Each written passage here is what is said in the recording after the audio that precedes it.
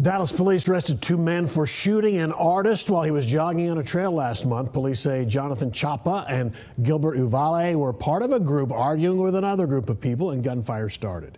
Bullets struck Antonio Lechuga, who is still recovering in a hospital. Fox 4's David Sentendrey reports. Two young men arrested for a shooting back in July that still has Dallas artist Antonio Lechuga recovering in a hospital and this was an innocent bystander that was injured that day.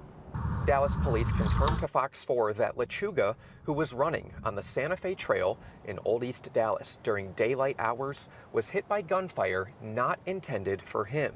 We know that the community was concerned about the safety because they didn't know if it was an isolated incident. They didn't know if someone was targeted, not targeted.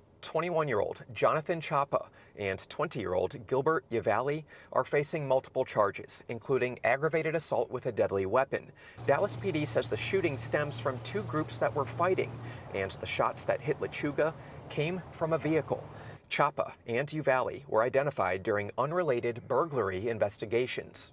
There were interviews that were done, further investigation, just basically good police work by the detectives ultimately led to identifying the suspects. Lechuga's family tells Fox 4 he was shot multiple times. He has a lengthy road to recovery, including damage to his kidneys, but he's continuing to fight.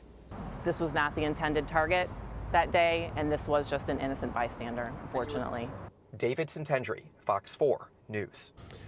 Dallas PD says it has stepped up patrols in the old East Dallas neighborhood where this shooting happened.